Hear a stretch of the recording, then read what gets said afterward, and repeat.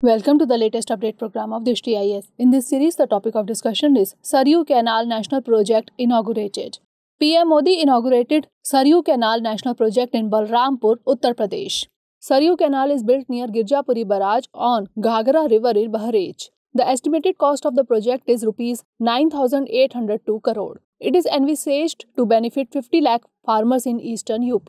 The canal system is also expected to protect the districts of eastern UP from recurrent floods. The project involves the interlinking of five rivers Ghaghra, Saryu, Rapti, Banganga, and Rohini.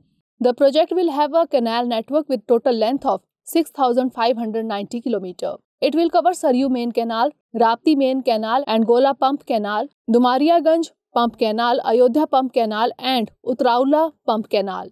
The project will facilitate irrigation of over 14 lakh hectares of land. It will enable farmers to have two crops instead of one.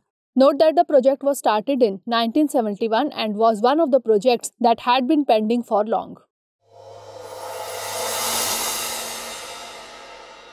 Dear viewers, watch this topic in Hindi on our Drishti IAS Hindi YouTube channel.